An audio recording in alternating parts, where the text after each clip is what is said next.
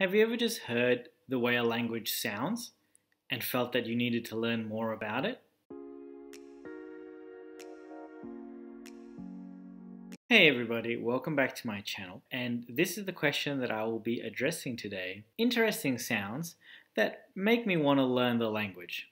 That's it. I'm pretty easy to convince that uh, a language deserves at least some amount of time worth of study and often I fall in love with a language simply by hearing a song in that language and listening to how the vowels and the consonants line up together and how the language sounds all together. I'd like to share with you five sounds from five different languages or similar related languages that when I heard them, I wanted to learn them just because I heard the sound in a song. And if you're anything like me, you may have encountered these sounds or these languages as well, and maybe these languages are on your to study list as well, simply because they sound nice to your ears. The first sound that I would like to uh, talk about, I heard it in the Kurdish uh, language, particularly, I believe it's in the Kurmanji um, version or uh, dialect. Uh, it might be in others as well, I'm not sure, but it's I think it's quite characteristic of Kurmanji, and I think it also exists in uh, another language uh, that will be featured on this list as well. That is the hua sound. In Kurmanji, as far as I'm aware, I was watching a, a teacher go through the alphabet, the Kurmanji alphabet. It's not necessarily one letter, it's actually a combination of h and w together um, but they pronounce, I guess you could call it one um, uh, consonant or one uh, sound, maybe not necessarily one letter, because they use the um, Latin alphabet or a uh, modified version of the Latin alphabet to write this sound. In Kurmanji, you might hear it in words such as khwesh, which means good, or you might also hear it in khwin, which is uh, the Kurmanji word for blood. And so I'm going to read uh, some lines from a Kurmanji song. Uh, I'm not going to sing it because I'm terrible. Uh, the song is called Gundino Hawar.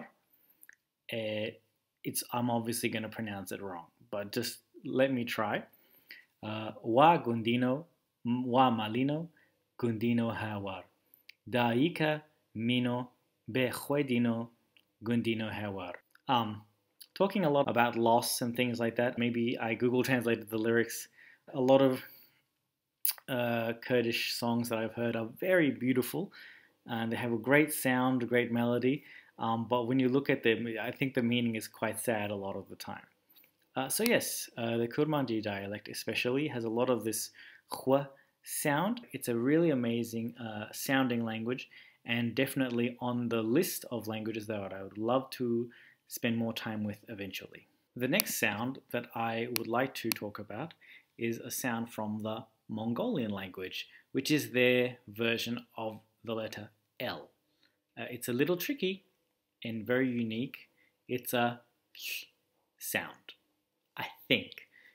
It's not necessarily unique to Mongolian, but again, it's definitely very iconic of that language. I would highly recommend going to listen to some uh, Mongolian spoken. It's very like whispery and there's a lot of that sound. Some words that utilize the Mongolian L are the word for cake, which is biashlu, uh, candle, which is sla, to blow out a candle, sla ushlech, so there's a lot of L's there, uh, and it seems like a sound that they can just pull off effortlessly, which is, um, I guess, part of the theme for all these strange sounds that to us who never use them are strange, but they're quite natural and uh, just part of daily life for people who speak these unique languages. The next uh, sort of interesting sound that I would like to speak about is the only vowel, I guess you could say, on this list. Uh, and uh, that we go to uh, Latvia. The Latvian language has, um, firstly, a very interesting way to, they've divided the alphabet. Um, they have a lot of letter pairs, you know, so they have a long vowel sound and a corresponding short vowel sound. They often have a hard and soft corresponding consonant sounds. I think, ooh, I think they have like soft and hard ends, soft and hard other uh, letters that I, if I, I'm not going to say them now because I can't actually remember. But so they have a very neat way that they've divided the language. So uh, what's interesting to me is how they pronounce their uh, letter O, which is sort of like a, there's a few pronunciations, but one of the more unique ones is or, I think. So it's more like a diphthong or a combination of two vowels, or, uh, than one. And so Latvian itself has um, some very uh, interesting um, vowel sounds, uh, and which really sound nice in song. Some Latvian bands that I like to listen to are Tautumeitas, as well as Auli, and they used to play together as well. They play like sort of um, folky, folk pop Latvian music. One particular song by Auli is called Ozolini, uh, which I believe is referring to the cultural oak tree. Um, it's a very nice song, I love it. And uh, it's sort of written like a poem. One of the lines goes like this Ozolini, Ozolini, Ligor, Ligor, Tavulilo, Resnuminu, Ligor, Ligor. So, when I heard the song and every uh, end of the line ended with this Ligor, Ligor, I had to kind of, I was like, what is that sound that everybody keeps repeating? And the song itself is even sung in different dialects of Latvian, so you hear this sound pronounced in different ways.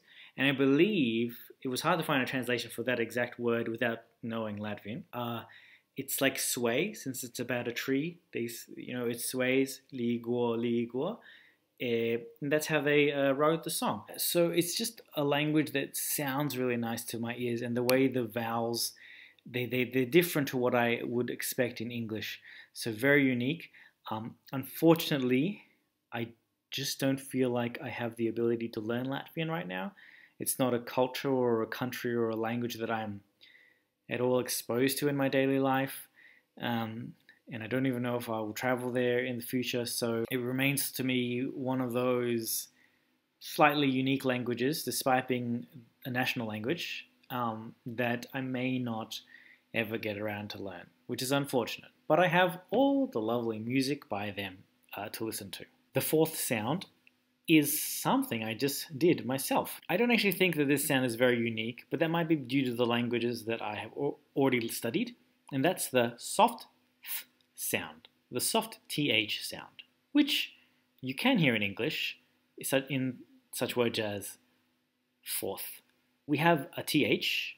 Most of the time, I think it makes uh, the sound, but in words like think and in fourth, um, it becomes a soft sound. And after having trying to teach somebody uh, English, they struggle. They're like, well, how do I know which one it is?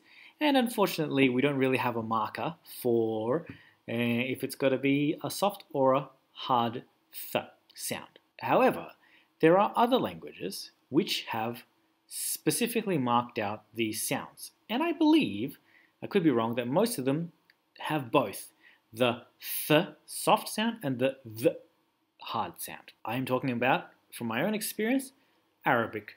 They have the th letter as well as the thal uh, letter.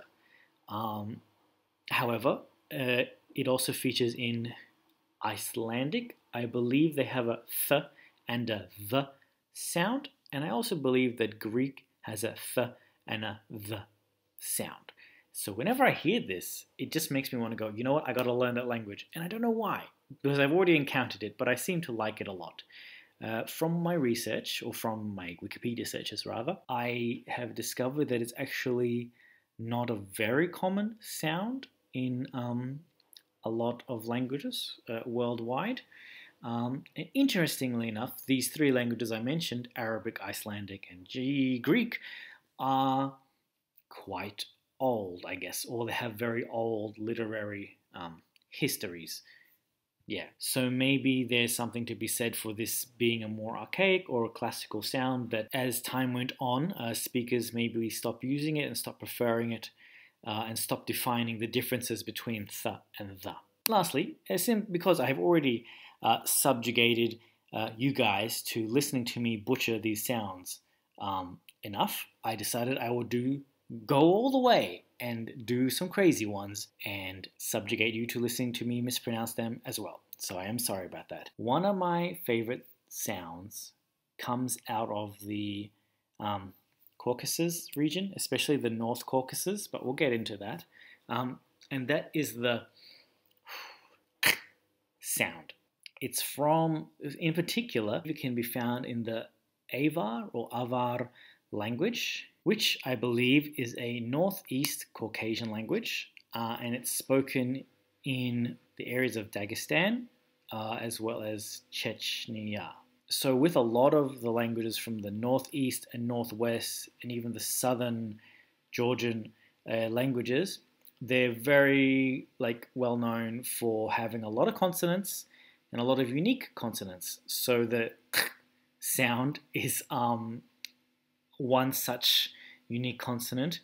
Um, and I love just listening to any of these languages because um, they just sound so unique to hear. Avar, I think there's actually three k sounds. There's a k, a k, and a k at least. There's probably more. Why? Because what one of the elements that makes these languages so unique is um, this kind of consonant whose name I can't remember right now is the consonant plus a little bit of air that comes out of your mouth. So in these languages, you find a lot of p, d, k, t, sounds, which I know I'm pronouncing terribly, um, but you have the sound plus the of air that comes out. There's not so much uh, information on the Avar uh, language, from what I can understand. There's a lot of information, or I mean, comparatively, with regards to the Georgian language, which is part of its own um, family of uh, Caucasian languages. And obviously, that's because it's um, spoken and taught at a national level. So there's at least some more resources there. Uh, the Georgian language itself is very beautiful. It has a very beautiful uh, writing script and it's very unique. Similarly, because of all these consonant clusters and very interesting sounds. Um, and uh, if you would like to hear more of the Georgian language, look up Trio Mandili, but you don't need me to tell you that because they're way more popular than I am. They're three girls who sing in the Georgian language, and for a language with a lot of and consonants all around the shop, um, they make it sound very lovely. Lastly, on the other side, the Northwest Caucasian family, I believe, um, you find a lot of the Circassian languages, which go by various names like Adyghe, Abkhaz, Abaz. They are similar in the sense that they have very complex consonant sounds. Um, they also seem to have a lot of whistling sounds, like a in there as well.